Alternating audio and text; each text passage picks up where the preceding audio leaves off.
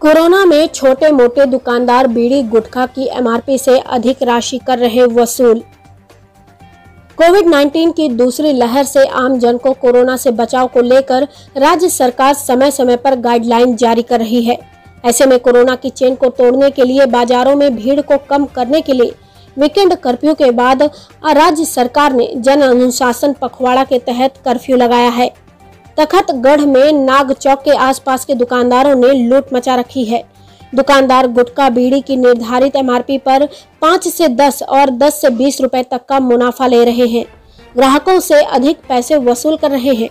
ऐसे में प्रशासन द्वारा कार्रवाई नहीं करने पर तखतगढ़ में दुकानदार बीड़ी गुटखा की निर्धारित एमआरपी से अधिक रुपए लेकर बेचते हैं।